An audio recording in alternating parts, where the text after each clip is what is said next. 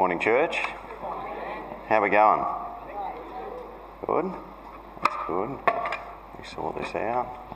Well, happy Mother's Day. I want to extend my uh, happy Mother's Day to all the mothers, uh, grandmothers, and uh, those who play mother roles uh, in, in our church and in our society. Uh, everyone, uh, or a lot of our mothers, can, can play those roles whether it's just welcoming one of the kids or knowing their names or whatever it is, uh, demonstrating the love that our mothers have shown us. Uh, we can do that throughout the year. So we want to celebrate you and uh, wish you all a happy Mother's Day. We're starting our series uh, in, the, in May, uh, our May Mission Month series. Uh, as we saw in the video, it's crossing the street. And so, Baptist Mission Australia, formerly Global Interaction. Uh, if you knew last year, they, they, they switched their name and uh, it's now Baptist Mission Australia. And, uh, and so they've set out this as a call for uh, the hundreds of Baptist churches across Australia. So we're joining them in this. And so when we speak about mission and evangelism and kind of crossing the street, for some of us, this really excites us. Now, for some of us, when we talk about mission and, and, and evangelism, it, it, it, really gets us going, really excites us. For me, it excites me, and I know some of the other evangelists and, and those who have seen uh, great fruit in this area, uh, it really excites us. But for some of you, I, I, I realize that when we talk about mission and evangelism, um, you often remember about the times that maybe you've tried and, and it just hasn't worked, or you've shared and, and it's just it just hasn't worked, and, and it's, it's a bit difficult for you when we talk about these things and, and when you're encouraged to do these things. That, that mission and evangelism is a difficult hurdle for you. And so I want to just put that out there, and because um, some of you maybe haven't seen the effectiveness or seen God at work through you the way in which He can work.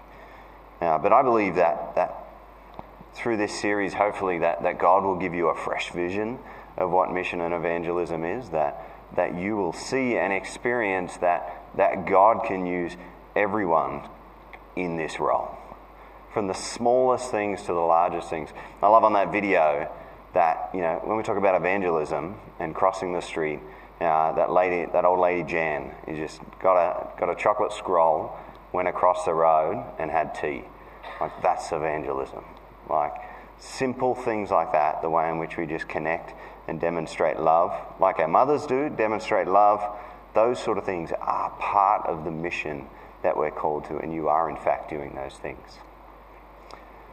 So, hopefully, this will help you, this series, understand a little bit more what it's really about, understand what it means uh, to reach people, as we call in our church, on our front lines.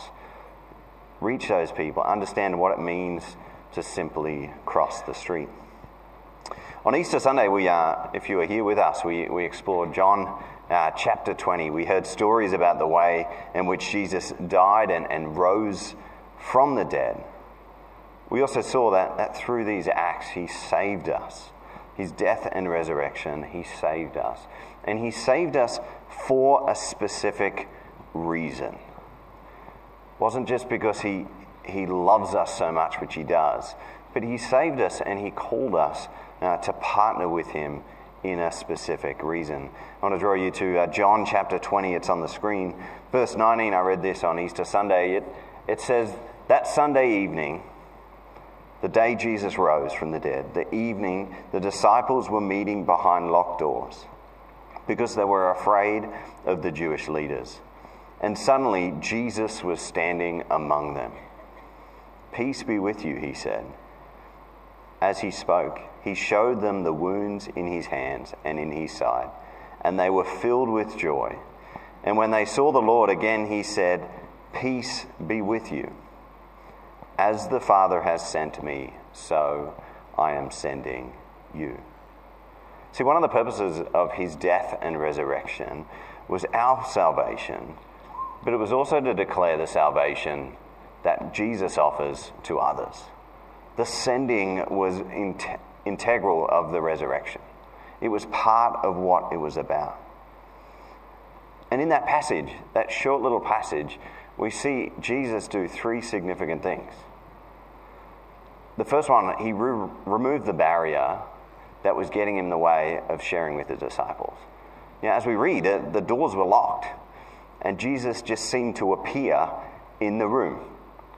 Now, Jesus was in his resurrected body, but he was still human at this time. So, how he did this, we actually do not know. But what we do know is that he overcame that barrier. And so, sometimes when it comes to um, even just crossing the street or sharing the gospel on our front lines, there is a barrier in the way. There's something, maybe it's, maybe it's fear or just convenience, or there's something in the way. And now I learned recently, um, and I probably, and some probably already knew it already, that, uh, that God has given me the gift of evangelism. Now, some of you may have known that already, uh, but I probably only just learnt it recently that it was actually a gifting. And so you would expect someone with the gift of evangelism, evangel- being evangelistic and sharing the gospel comes naturally through that gift, and that it's easy for me. It is not. It is still hard to overcome those simple barriers, to go and speak with your neighbors and to go and share a simple message, simply to overcome that little barrier it's, it's difficult. So when it comes to mission, when it comes to sharing, you know, for Jan on that, on that video there, to buy a scroll and to go across the street, it seems like a simple act, but I'm sure it was difficult for her to do that. Um, now, some of you have large streets, and so it seems like crossing the street is a bit further than, than others. The, the previous house we lived in, you could probably fit two cars across the street, so it was a little bit closer to get to the neighbours. But the house that we live in now, it's, it's about four car lengths. So it seems like a, you know, like a mile just to go and cross the street and to share the gospel. But we see that in this, Jesus simply removed the barrier. And, and Jesus can, in our interactions, do the same thing remove the barrier that gets in the way from us sharing the gospel. Remove the barrier that, that gets in the way of us sharing. Doesn't make it any easier the next time, sometimes. But overcoming hurdles and overcoming the barriers is part of the work in which we are called to and which we are sent to do. And so, in that, we see that he also declared peace in the house. Various interactions, Jesus declared peace uh, over the house. It seems to be an evangelistic strategy or a mission strategy to declare peace. Uh, is often a welcoming in that culture, but it went beyond that. It's almost like inviting God into that space, to Him to speak and to move and to declare peace over the house. So we see that Jesus can do that as well. And what's key in this passage is that He sent His disciples. The Father said, As the Father has sent me, so I am sending you a key part of us being saved by Jesus is being sent like the Son, being sent like Jesus. And now Jesus had his disciples in the room, and I'm sure some had the gift of evangelism.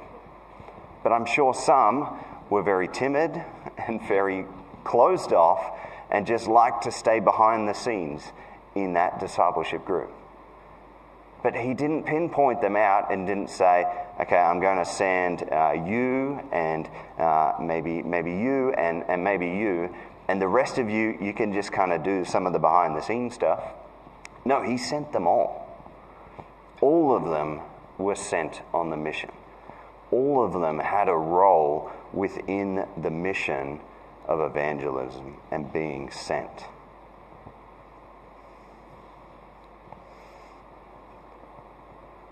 So, biblically, we need to understand that we are all sent. We're all sent to cross the street. We're all sent to build bridges with uh, those who don't know Jesus. We are sent to meet people where they are and to share the good news of Jesus in ways that make sense to them. We're sent across the street to build bridges, to meet people where they are, and to share the good news of Jesus in a way that makes sense to them. There are those in our community that have the evangelistic gift, but they are not in the right place to share with your neighbours. They are not in the right place to share with your work colleagues. You are. You are called in that place. You are positioned there. And if I came in with a gift of evangelism and shared the gospel, it wouldn't be as good as you, who may not have the gift of evangelism, just talking about Jesus or just talking about your faith, just talking about what you did on the weekend.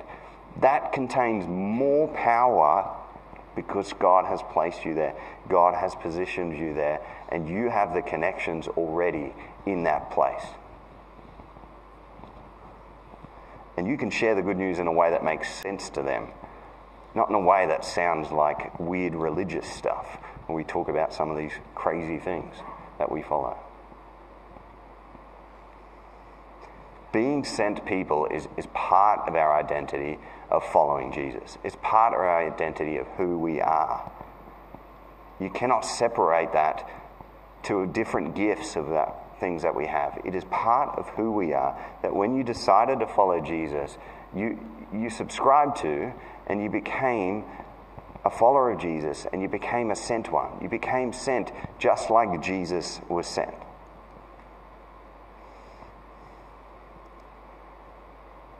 You can't separate it. Being sent by Jesus and serving in his mission field is part of who you are. It's not a small part off to the side, which a small group of people do. It is for all of us to do, being sent like Jesus, being sent by the Father, having an important role in our community. Each of us has that. To share the good news, to say peace into different situations, to pray over people, to, to minister into them. because Jesus has sent you. It carries a significant amount of weight. Our Lord and Saviour has sent us into the world. That where you are, where you have found yourself, in your home, where you bought your house, in your workplace, the friends that you have, Jesus has sent you into that. And he declares that as the Father has sent me, so I am sending you. And that is exactly what he has done. However, in that space, it's encouraging to be that, that we're not responsible for God's mission.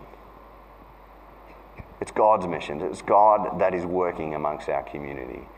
Our responsibility, and God graciously invites us to partner with Him in this, to partner with Him in His mission. He's already at work in the place in which you already are. He's already encountering people and sharing the good news with people. Now, we simply are partnering with Him and just sharing some, some little things. Just being there in the presence can sometimes be incredibly powerful. And the fact that God is with us in this mission should be a great encouragement to us. It should help us to, to overcome some of those barriers of uh, maybe a, a sense of insecurity of, you know, maybe I don't know the Bible enough, or maybe I just don't know how to pray enough, or I just, just don't know what to say in these situations. God is with you, and it's God's mission. God alone is responsible for his mission. God alone is responsible for bringing the world into to, to save him, to save the world. God alone is responsible. And God is already at work where you are, and we simply are partnering with him in that work, just like Jesus did. Jesus showed us an example of real being prayerful and being guided by the Father. There are so many different things that Jesus could have done that he didn't do. He changed his directions because he knew that God was working in those areas. And so, just like Jesus did, we, we are partnering with our Father, with God. And as we ponder within our identity as being sent people, it is intrinsically entangled in the love of God. Our identity as loved people by the Father is part of who we are. At Jesus' baptism, It was almost the, the moment in which God the Father sent Jesus out to do his work, positioned him for the specific job. We see these, we hear these words and we read them. Said a voice from heaven said, You are my dearly loved Son, and you bring me great joy. At Jesus' baptism, the Father declares to his Son, You are my Son, whom I love. With you I am well pleased. You bring me great joy. And see, Jesus' identity as being a sent person is secure as one loved by the Father, as one loved by the, for, the Father. So we, as sent people, following Jesus in his footsteps, following the Father's path, our identity of being a loved one is secure in him. Some of the barriers of, of overcoming and sharing the gospel is an identity barrier sometimes. What happens if they think I'm strange? What happens if I don't say the right words? What happens if I muddle it up and I get it all wrong? What happens if I say something that's just blatantly false in these moments? What happens if I share the gospel and they just simply don't understand it? What happens if they ask me a question that I don't know what it is? I might look like a fool. What happens if I share with my neighbors, I bought this house and I share the gospel with my neighbors, and because of the gospel that I share with them, they hate me? What happens? Some of these questions are barriers to us sharing the good news. You know, what happens if they just dislike me? These are genuine barriers that are getting in the way of God's mission. And these very questions is the same questions that I've thought as well. What happens if I do this? And I'll tell you today that these, these are lies, these questions. These are lies from Satan getting in the way of you being who you are. Getting in the way of being who you are. They are distracting you away from God's purpose in your life, from your identity.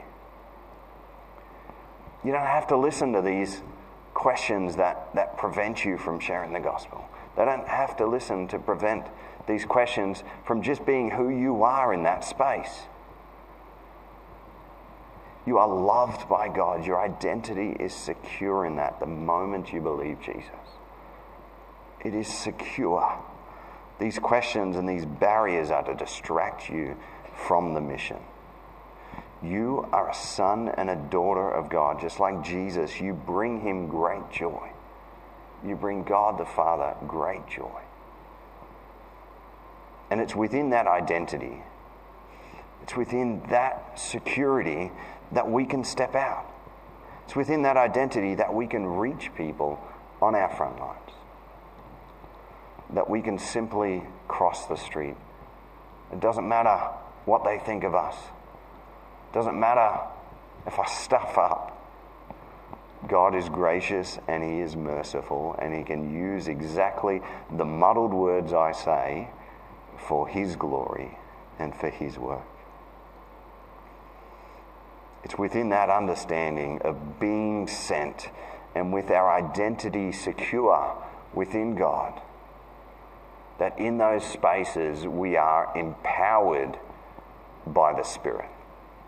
We are empowered by the Holy Spirit. One of the amazing things is that, that God partners with us in that interaction on Resurrection Sunday. Before the Holy Spirit, the day of Pentecost had been poured out upon everyone, Jesus says these words See, then he breathed on them. That's not COVID safe. And he breathed on them and said, Receive the Holy Spirit. If you forgive anyone's sins, they are forgiven. If you do not forgive them, they are not forgiven. Receive the Holy Spirit. You see, we are empowered by the Holy Spirit. Our muddled up words that we think in our mind and things that we say and our insecurities, um, we are empowered by the Holy Spirit, each and every one of us. Whether we have the gift of evangelism, whether we don't, we are all empowered by the Spirit. It's part of who we are. And so our muddled up words can be translated into something beautiful through the power of the Holy Spirit. Do you believe that? Through the power of the Holy Spirit, our muddled up words, our, our misunderstandings of the scriptures can be effective. You know, our strength to cross the street, our strength to share on our front lines comes from this Holy Spirit, the power that the Holy Spirit has. It is through the Holy Spirit, the Holy Spirit work within us. That's God active and living in us, sharing this good news. It's the Holy Spirit that reminds us of our identity in these spaces. It's the Holy Spirit to remind us that we are loved and that we are sent by God. Remind us that we're not sent alone. The Holy Spirit lives within us. That as we go out, as we go into our work, and as we go into our house, we have the Holy Spirit. Not only are we in partnership with each other's, but we also have the Holy Spirit as our guide. The Holy Spirit is our advocate. It is our comforter in these moments. And Jesus gives the Holy Spirit to his disciples, saying, Receive the Holy Spirit. Can I encourage you the same today is to receive the Holy Spirit. Receive it. Rely on it. Use it. God has given this as a gift for you. That the moment you were saved, the Holy Spirit entered into your life. The moment you were saved and gave your life to Jesus, the Holy Spirit entered into your life. And as we continue to live for Him, as we continue to allow the Holy Spirit into different areas of our lives, we should allow Him, we should receive Him in all areas. Allowing Him to mold us, to guide us in these places. You see, we need the Holy Spirit at work in our lives to develop the fruits of the Spirit, develop the gifts that God has given us, to simply cultivate Christ likeness, and to open our eyes to the people of peace, open our eyes to those on our front lines. And it's through this powering of the Holy Spirit that we can come alongside our communities. We can overcome the barriers. We can speak peace into a situation that's in turmoil, a situation that is messy. We can speak peace into that and be sent into those places. Once you overcome, overcome through the power of God that barrier of crossing the street. Once you come to grips with your identity in Christ as somebody loved by God and seek to be living an empowered life by the Holy Spirit, sharing the gospel simply becomes who we are, simply becomes what we were doing. It's what we were meant to do sharing the gospel, sharing the good news is what we are meant to do. It's part of who we are. It's part of each and every person. It doesn't have to come through a, a you know well organized program. It doesn't have to come through a well organized and thought out speech. It comes through simple things that you do, food that you share, time that you spend with people. It comes through various simple things, the gospel and people understand that there's something different about you because your identity is secure in the love of Jesus, the love of the Father, that the Holy Spirit is working. People can sense that, people know that. Sharing the gospel becomes who we are. It becomes what we do in the everyday. Let me pray for you. Lord and Heavenly Father, Lord, we, uh, we receive your Spirit today. Lord, help us to come to grips of our understanding. Lord, help us just like you sent Jesus. Lord, send us. Send us, Lord. Help us, our identity, to be secure in the love of God. Lord, as you overcome the barriers, Lord, help us to overcome the barriers in our lives. Lord, we know that you're working, we know that you're there, but it's often difficult. So help us to overcome those barriers. Lord, by your Holy Spirit, by your grace and mercy, work amongst us. Work amongst us as your people. This is what we pray. Amen.